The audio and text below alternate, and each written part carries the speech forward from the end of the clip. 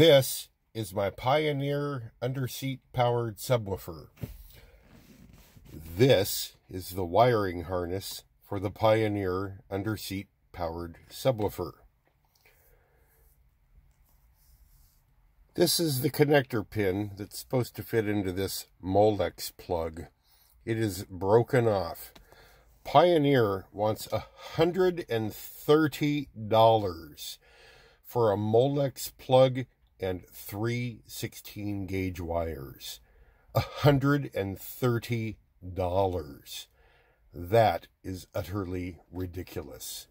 The subwoofer is a month old.